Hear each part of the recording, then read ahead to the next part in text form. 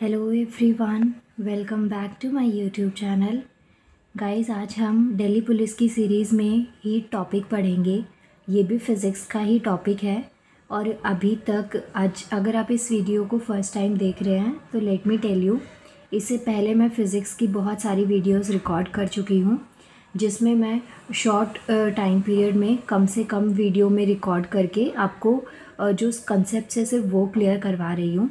एक बार सारे कंसेप्ट के रिवीजन हो जाए उसके बाद में मैं आपको इसके प्रीवियस ईयर के कुछ क्वेश्चंस भी दे दूँगी जो एसएससी में बहुत बार रिपीट हुए हैं जिससे कि आपको अपनी प्रिपरेशन में बहुत ज़्यादा हेल्प मिलेगी। सो so, आज का हमारा टॉपिक है हीट हीट मींस आप सबको पता है हीट वर्ड जो है ना वो गर्मी से रिलेट करता है। मींस कि जब टेम्परेचर बहुत ज़्यादा बढ़ जाता है।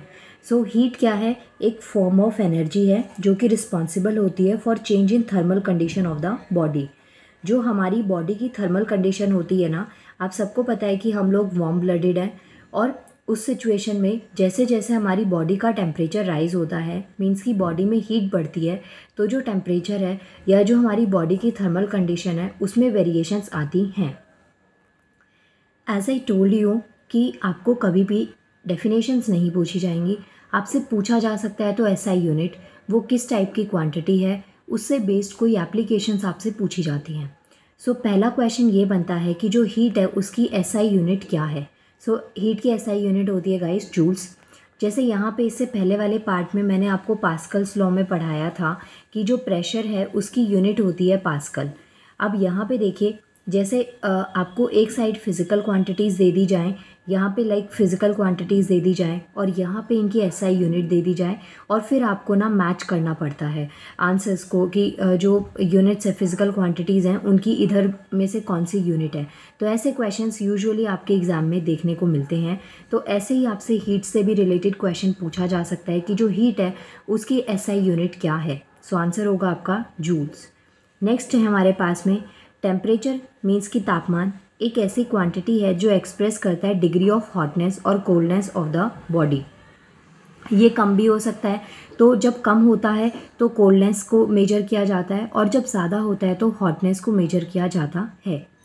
जैसे कि विंटर्स के टाइम में जो टेम्परेचर है, वो कम हो जाता है तो ठंड बढ़ जाती है और समर्स में जब टेम्परेचर बढ़ जाता है तो गर्मी हमें ज़्यादा लगने लग जाती है. आई नो मैंने ये बहुत ही बेसिक सी लाइन बोली है, आप में से नाइन्टी परसेंट लोगों को ये चीज़ पता होगी।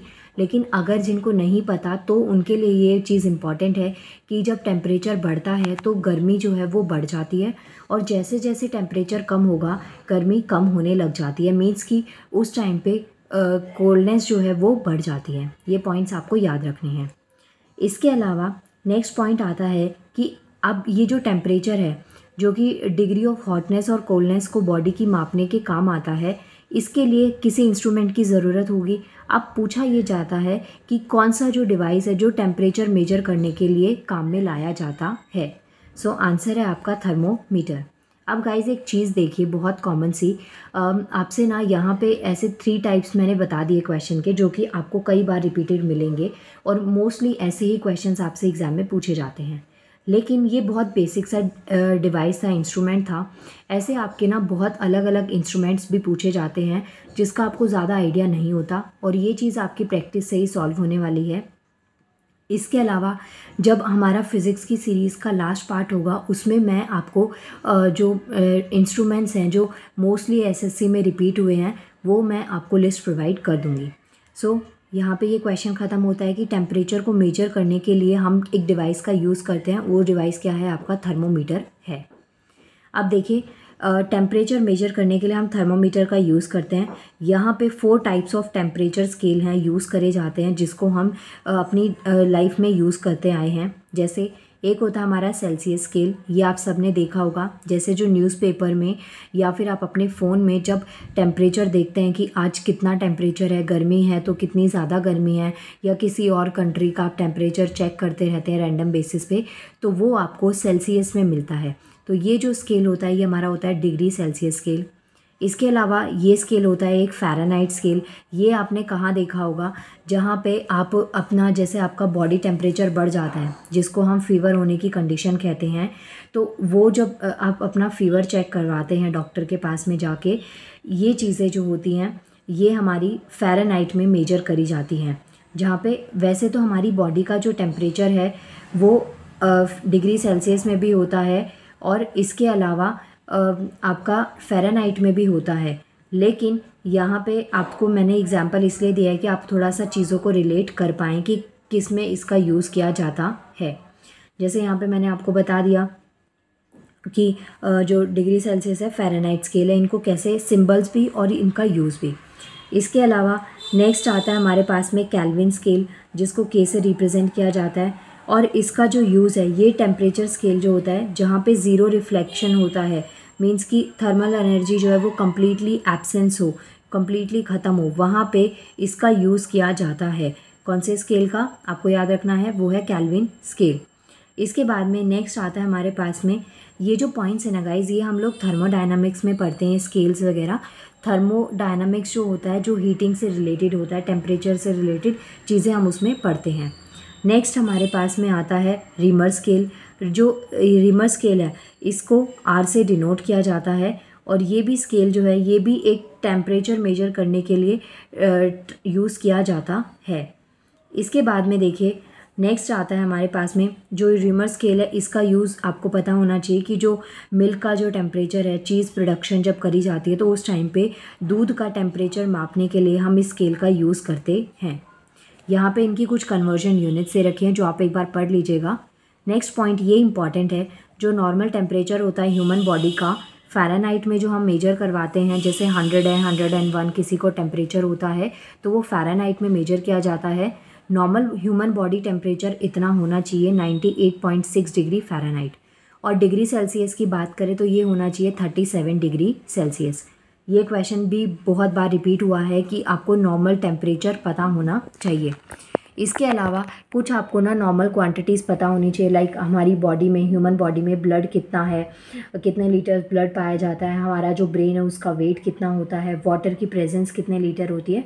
सो so, ऐसे टाइप के ना कॉमन क्वेश्चंस हैं जो कि बहुत बार ये रिपीट होते हैं। और आ, हम इनकी प्रैक्टिस में नहीं रहते हमें लगता है ये चीज़ें नहीं पूछी जाएँगी इस वजह से ये क्वेश्चंस गलत हो जाते हैं।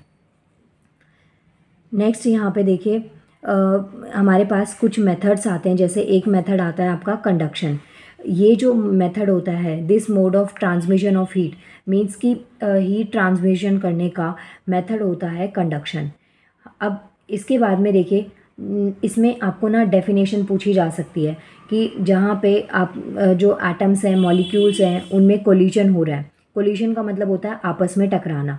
तो कंडक्शन क्या है? एक प्रोसेस होता है जिसकी हेल्प से जो हीट एनर्जी है वो ट्रांसमिट होती है, जो कोलिजन होता है नेबरिंग एटम्स और मॉलिक्यूल में। जैसे मान लीजिए, ये एक बर्नर है सॉरी ये एक कंटेनर है, इसके नीचे बर्नर है फ्लेम ऑन है, और यहाँ पे ना आपने पानी डाला हुआ है। आप देखेंगे कि जैसे जैसे ये टेम्परेचर राइज़ होगा ना पहले जो वाटर है इसमें कंटेनर में ये एक स्टेबल कंडीशन में है। लेकिन जैसे जैसे टेम्परेचर राइज़ होगा ये जो इसमें पार्टिकल्स हैं ना वो आपको सेपरेटली दिखने लग जाएँगे और वो आपस में टकराने लग जाते हैं। सो so, ऐसे एग्ज़ाम्पल से आप ध्यान रख सकते हैं कि यहाँ पे कोलिजन हुआ और इसमें जो हीट एनर्जी है वो ट्रांसफ़र हो गई। मीन्स कि जो बाकी के जो एटम्स और मॉलिक्यूल्स हैं उनके अंदर हीट एनर्जी का ट्रांसफ़र हो जाता है। तो यही चीज़ हम कंडक्शन में पढ़ते हैं। आई होप आपको ये हीट वाला कंसेप्ट समझ में आ गया होगा। इसके बाद में देखिए नेक्स्ट है। Mode of transfer of heat from one part of medium to another part of actual movement of heat particle of medium is called convection यहाँ पे दो तीन मेथड्स हैं जो आपके साइंस में पूछे जाते हैं। इनकी ना एप्लीकेशंस आपसे ज़्यादातर पूछी जाती हैं कि ये क्या होते हैं। सबसे पहला देखिए, एक मेथड होता है हमारा कंडक्शन, जो मैंने अभी पीछे आपको बताया। एक होता है गाइस कन्वेक्शन और एक चीज़ होती है आपकी रेडिएशन ये तीनों जो मेथड्स हैं, इनकी डेफिनेशन आपको पता होनी चाहिए, क्योंकि इनकी एप्लीकेशन बेस्ड क्वेश्चन कई बार एग्ज़ाम में आ जाता है। तो सबसे पहला आता है हमारा कंडक्शन इसका मतलब क्या होता है? जो हीट ट्रांसफ़र करी जाती है, वो डायरेक्ट कॉन्टैक्ट में होती है। डायरेक्ट कांटेक्ट में जो एटम्स मॉलिक्यूल पास में आए, उनमें जब हीट ट्रांसफ़र हुई तो वो एग्ज़ाम्पल हो गया हमारा कंडक्शन का। अब जो कन्वेक्शन है, इसमें जब हीट ट्रांसफ़र होती है तो वो एक फ्लूइड के अंदर अंदर हीट ट्रांसफ़र होती है। और यहाँ पे जो रेडिएशन वाला पोर्शन है, इसमें जो हीट ट्रांसफ़र होता है, वो इलेक्ट्रोमैग्नेटिक वेव की फॉर्म में होता है, जिसके अंदर पार्टिकल्स को इन्वॉल्व नहीं किया जाता है। ये पॉइंट्स आपको याद रखने हैं। यहाँ पे देखिए ये कन्वेक्शन हो गया।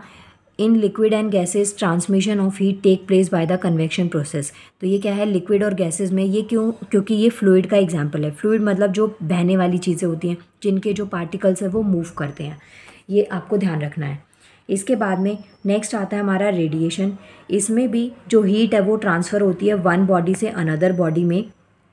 और इसके लिए किसी मीडियम की ज़रूरत नहीं होती, क्योंकि ये इलेक्ट्रोमैग्नेटिक नेचर में होते हैं। जैसे आपको कंडक्शन और कन्वेक्शन में मीडियम की ज़रूरत पड़ेगी, उसी तरीके से इसमें रेडिएशन में मीडियम की ज़रूरत नहीं पड़ती है। नाउ गाइस मिलते हैं नेक्स्ट वीडियो में, जिसमें मैं आपको simple harmonic motion करवाऊँगी। Thank you so much